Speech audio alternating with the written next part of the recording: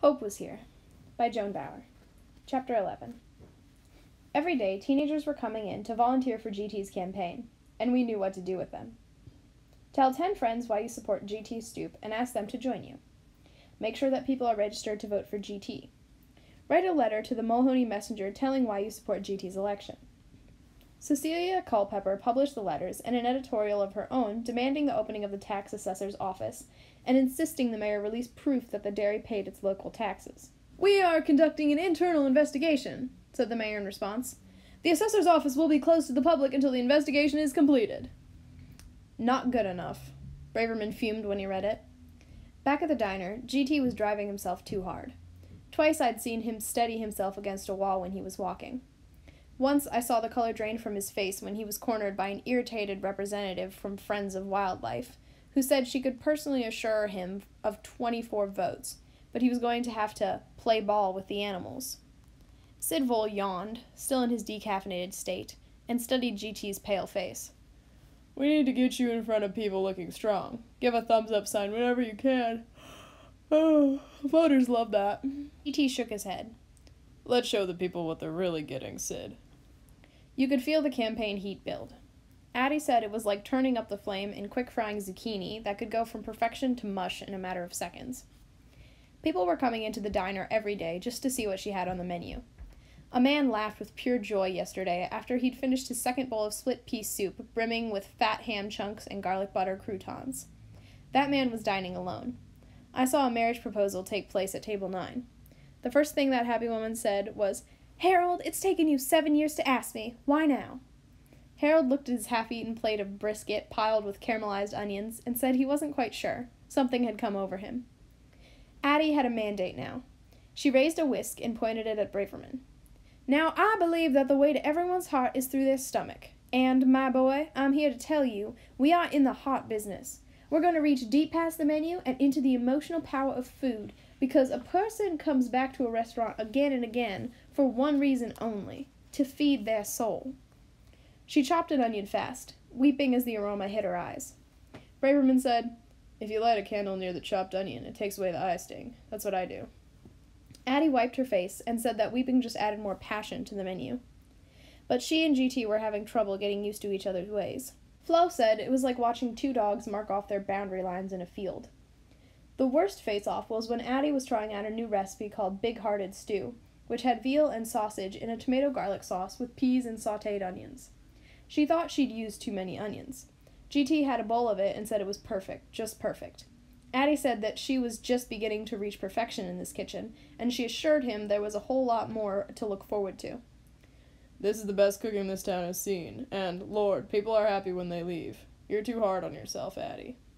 I'm hard on myself because that's the only way food is elevated. Maybe you'd have more fun if you backed off a bit. I tried to signal GT that this was the wrong thing to say. Addie's definition of having fun is worrying herself silly over a recipe. She'd reached her fun apex with this veal stew. Addie snarled, GT, there's too much onion in this dish, and I'm not going to serve it until I've got it right. I'm putting something else on the dinner menu. GT said he'd already written out the specials page for the menu for tomorrow, and he'd rather not do it again.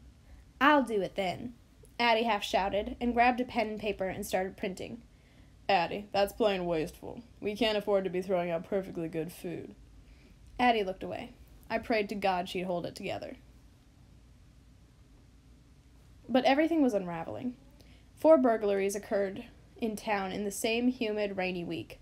One of them was at Adam's house.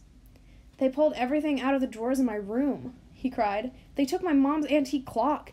They took the stereo and the TV and my dad's campaign button collection that went all the way back to Teddy Roosevelt. He stared off, shaken. My hands turned to fists. When they come into your house, it's like. it's so personal. He was fighting tears. I put my hand on his shoulder. Deputy Babcock said it seemed like the work of the same person, maybe two people working together. Not real swift ones either, she commented, drinking her second cup of coffee at the counter. They were messy jobs. Whoever it was, though, knew people's patterns when they'd be home, gone to work. Interesting that whoever it was only burglarized the houses of people who signed GT's petition or who worked with the campaign. She adjusted her shoulder holster with a very real pistol. Flo told me that Deputy Babcock used to be a police detective in Minneapolis and moved to Mulhoney to take care of her mother, who lived here and couldn't get around by herself anymore. Brenda's got connections way up the pole, Flo told me. Sheriff Greaves isn't too happy about that. Better get the word out, Deputy Babcock said to me and Flo. Batten down the hatches. Batten, from Webster's, a thin, narrow strip of lumber used especially to seal or reinforce a joint. Hatch, an opening in the deck of a ship or in the floor or roof of a building. I'd like to know what's being done to find those burglars.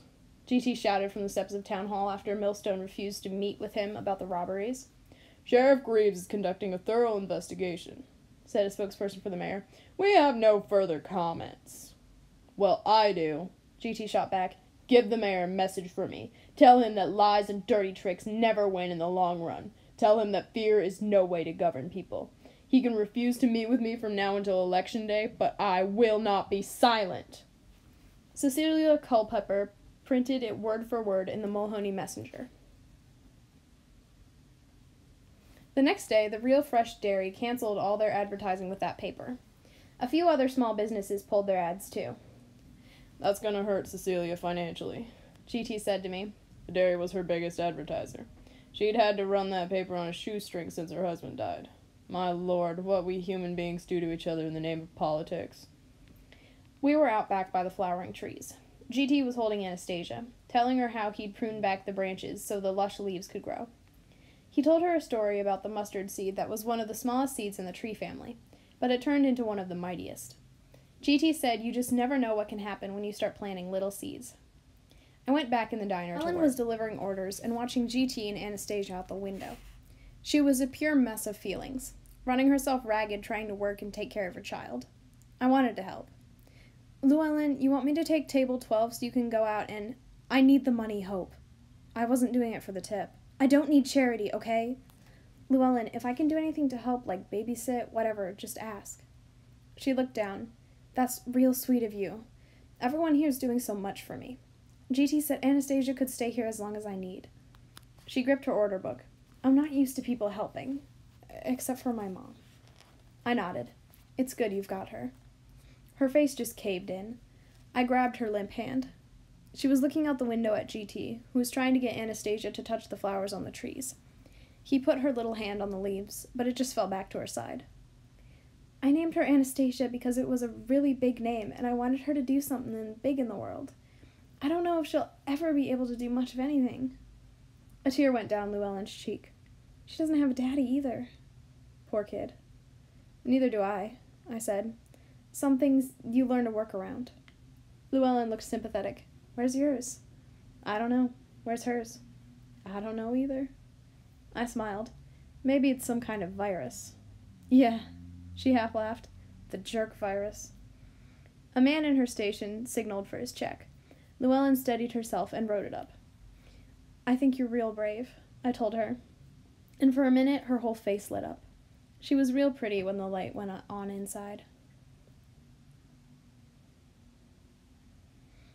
It is with great joy and honor that I announce my support for Eli Millstone, the only man for Mulhoney. Cranston Broom, president of the Real Fresh Dairy, shouted this into a microphone at his factory as a sea of dairy workers applauded and cheered, and several dairy workers draped a millstone banner across the entrance to the building. Every dairy truck you see will proudly bear a Vote for Eli poster. That's how committed we are to this mayor. Braverman, Adam, and I were across the street watching. Braverman's face looked rigid. He sipped the last of his coffee, crushed the styrofoam cup in his hand. Braverman was becoming caffeine man. In his spare time, he worked on the Students for Stoop newsletter and wrote articles for the Mulhoney Messenger about the campaign that never got published.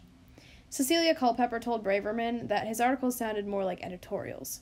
He needed to report the facts, be a dispassionate observer of the political scene. Braverman said that anyone who was dispassionate about this election was brain dead. I was getting worried about him. That young man's got a deep relationship with GT, Flo explained to me. It's killing him to hear the things Eli Millstone is saying. It was killing all of us. Now, I don't think GT Stoop means to be doing this town any harm, but I believe we need to let him know that running for mayor with no experience and leukemia is making a travesty out of the office and is insulting the voters. We all have to understand that this man is not only sick, he's deluded. Every one of his accusations is bosh. But GT went for broke and challenged the people. Eli's been going around telling you that everything I've said was false. Either I'm the biggest barefaced liar you've ever met, or I'm not. You've got to decide. Braverman started following Millstone's campaign everywhere after that, saying, What about it, Mr. Mayor? Is GT Stoop the biggest barefaced liar you've ever met, or are you? The last hour on my shift, and it had truly been one of those days. Everything went wrong in the kitchen. My orders were backed up. I had hungry people glaring at me like I was personally responsible for their starvation. At the galley window, I ordered that tortellini sausage soup 20 minutes ago, Braverman! He slammed a pan. It was 10 minutes ago. Oh, please. I had a table full of gimmies. Gimme water, gimme ketchup. Mrs. Scarlatti was perched at the counter trying to set me up with her nephew Louis. A nice, thoughtful boy, she said. Wouldn't hurt a fly. That means spineless in Brooklyn. I delivered the world's best chef's salad with crumbled bacon and a large bowl of too good chili to the people on table 17, who could see how busy I was and kept telling me not to rush. Brenda Babcock was sitting at the counter drinking iced coffee. She was in street clothes today white pants and a bright flowered shirt. She didn't look like she crushed bad guys under her heel in that outfit. I placed a slice of Addie's fresh coconut layer cake in front of her. That's when we heard the blood curdling scream. Oh God! Oh God! The pretty woman on table 17 shrieked it, covering her face. I ran over. The man with her looked furiously at me. There's half a dead mouse in my wife's salad! This had to be a joke. The restaurant went silent. Deputy Babcock was there next to me. I looked in the salad bowl, saw the top half of a dead, gross rodent, mouth open, covered with Roquefort dressing. Lou Ellen screamed. I backed away. The man stood up. This is the most disgusting thing I've ever seen. He took his soup spoon and held that thing up for everyone to see. Wails of disgust and disbelief. Braverman ran to help me from the kitchen. He looked in the bowl, stunned. Way to go! the pretty woman cried. I might have touched it. Oh my god, it might be crawling with disease. Customers are beginning to gather around us. It's really a mouse. Don't look, Bobby. Inexcusable. Sir, I began, there has never been anything like. We'd heard this was a good, clean place, the man snarled. Believe me, you'll hear from our lawyer. Braverman took the salad bowl. I don't know how. The man took it back. I need that as evidence. Brenda Babcock whipped out her deputy's license. I'll be taking that as evidence. We'll keep it real safe for you and your attorney. She wrote something out on her official deputy pad. If you'll just sign here. Suddenly, that sweet couple got nervous. What what do you want us to sign? This just says you found the mouse in your salad. The woman backed off. I I don't know if we should sign anything. Have you ever seen that mouse before? Brenda Babcock asked, prior to it being in your salad. The woman looked down. How could I have seen it before? Have you, sir? Of course not. Then would you sign here, please? The couple looked strangely at each other. No one spoke. Then a nervous smile. I think, officer, said the man, we'd just like to forget the whole thing. You will not be pressing charges, then? No, they said together. May I see some identification, please? Why? asked the man. Would you want to see that? Because I maintain the peace in this town. Hard to argue with that. They took out their driver's licenses. Deputy Babcock wrote down the information. The woman gulped. What are you going to do with the mouse? I'm going to have the crime lab check it. For what? How long it's been dead? Is it native to these parts? I see you're from Michigan. We're traveling through, the man offered quietly. She handed their licenses back to them. Enjoy your stay. The man put a 20 on the table, and they walked quickly out the door. Deputy Babcock turned and addressed the diners. Go back to your meal, folks. I think we had some visitors who were trying to shut this establishment down. A collective gasp. And Deputy Brenda Babcock, crime fighting ace, raised a humble hand like it was no big deal that she'd just saved the welcome stairways from scandal, asked me to keep her cake for later, and marched out the door holding that salad bowl that was sure to reveal major mouse tampering and God knows what else.